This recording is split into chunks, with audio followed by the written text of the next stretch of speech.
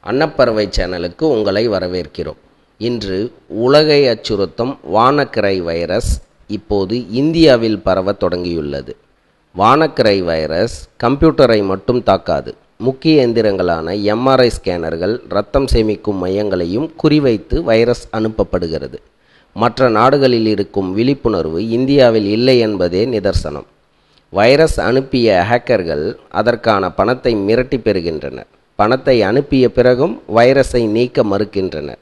எனவே இதை அழித்தொழிப்பதுதான் நல்லது. ஆந்திரா குஜராத் கேரளா போன்ற மாநிலங்கள் வெகுவாக பாதிக்கப்பட்டுள்ளன. எனவே மற்ற மாநிலங்களுக்கும் பாதிக்கும் முன் அவற்றை வராமல் பார்த்து கொள்ள வேண்டியது நமது கடமை. ஏழாம் அறிவு திரைப்படத்தில் வரும் ரெட் வைரஸ் இந்தியா முழுவதும் பரவி பல விபரீதங்களை ஏற்படுத்தியது.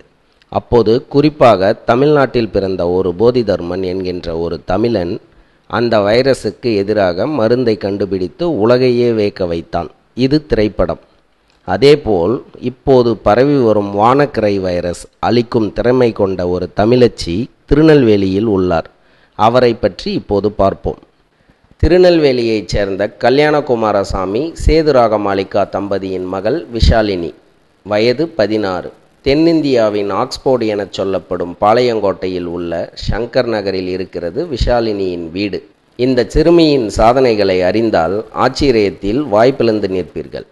இவர் ஐந்து சாதனைகளை செய்திருக்கிறார். அதில் ஒன்று உலக சாதனை. அது என்ன?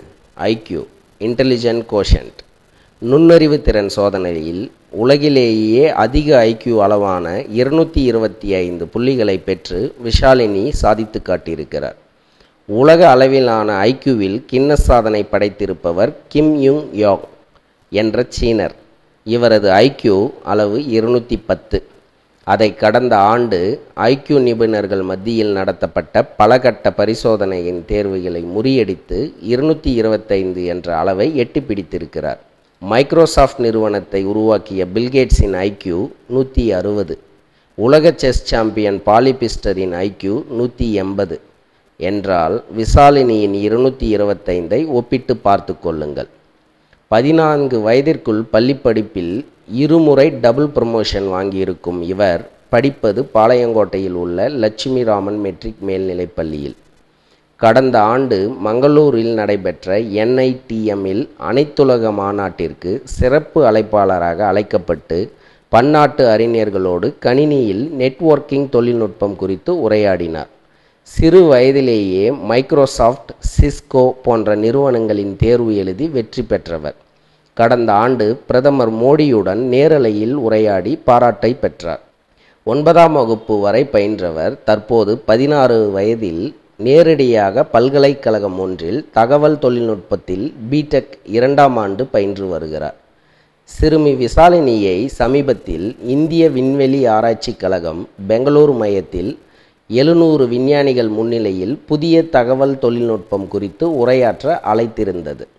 இத்தனை சாதனைகளை படைத்துள்ள இவர் தனது ஒரு வயது வரை ஒரு வார்த்தை கூட பேச முடியாமல் சிரமப்பட்டிருக்கிறார்.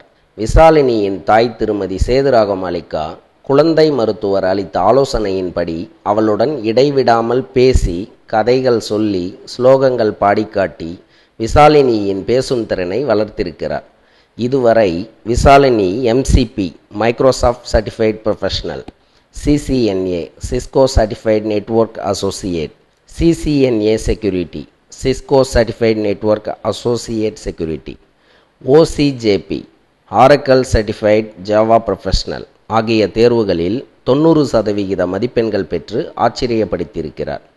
வானாக்ரை வைரஸ் பாதிக்கப்பட்ட இக்கட்டான சூழலில் மத்திய அறிவியல் மற்றும் தொழில்நுட்பத்துறை அமைச்சர் ஹர்ஷவர்தன் வைரஸ் பாதித்த கம்ப்யூட்டர்களை சரி செய்து தருமாறும் அதற்கு என்னென்ன உபகரணங்கள் உதவிகள் தேவை எனவும் சிறுமி விசாலினியிடம் கேட்டுள்ளார்.